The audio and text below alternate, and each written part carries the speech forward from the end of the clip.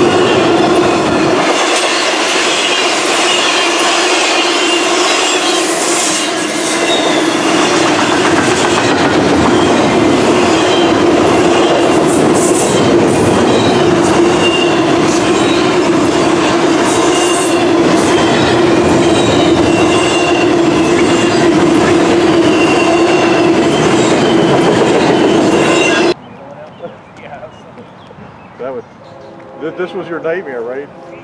That this train would come and block the heritage unit. Oh Jesus, I would, I'd be going to Allentown. No, you wouldn't. No, you would probably hop on this thing. I'd be going to Allentown. It's like, well, Looks like it's going pretty slow. You could you could hitch a ride on this one. Yeah, should somebody try it?